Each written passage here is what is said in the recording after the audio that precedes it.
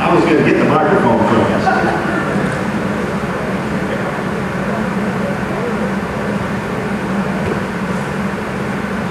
Well, I'm David Rouzer, and I figured it wouldn't be fair for me to take a microphone there if everybody else has to stand on the stump. And I'm happy to stand on the stump here in Columbus County, and it's great to be here with you. As I travel around this Southern congressional district, Columbus County, Bladen County, New Hanover County, Brunswick County, there are folks that come up to me who have moved here from other countries. And there's tears in their eyes. And they look at me and they say, David, I cannot believe that we're letting this country move the way of the country that I fled to get, to get here to the United States.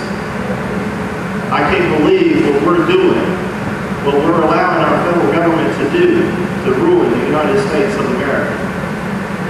Now, ladies and gentlemen, I feel it in here and I think you do too. We've got to have a major change in Washington. Now, I'm running for the U.S. Congress because I believe in America. I believe in the greatness of America.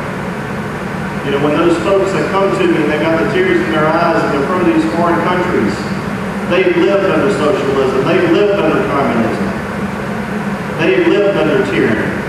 They see the path that we're taking. The reason I got involved in politics is somewhere in 1994, I was in a program over in Prague, the Czech Republic. Ten of us from America, there were 50 students from the former communist bloc. My roommate was from Romania. It struck me they knew more about America its history its purpose and its founding and a whole lot more about the free enterprise system than we did. My roommate looked me in the eyes one night and he teared up. He said, David, he said, you folks in America, he said, you don't understand what you have. You take your freedom for granted. You take your economic prosperity for granted. You think it's just going to be there day after day, when in fact it's not.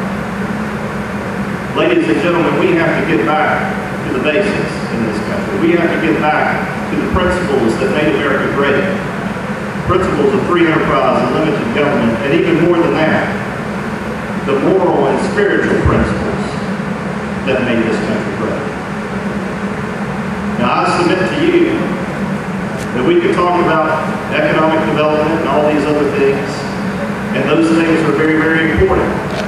Everywhere I've ever been, I've worked very, very hard for the people that I've served. In my time working on Capitol Hill, serving in the administration, serving in the state senate, with Michael Walters and R.C. Soles and Bill Rabon.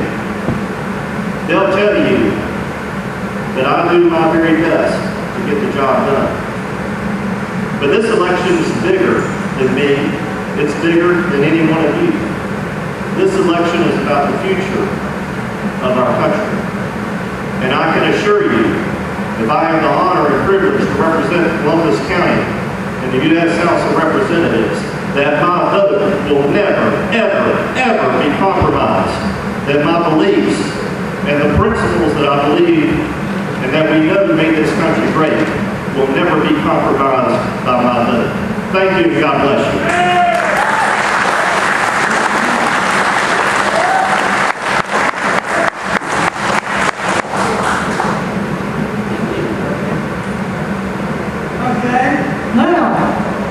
We have our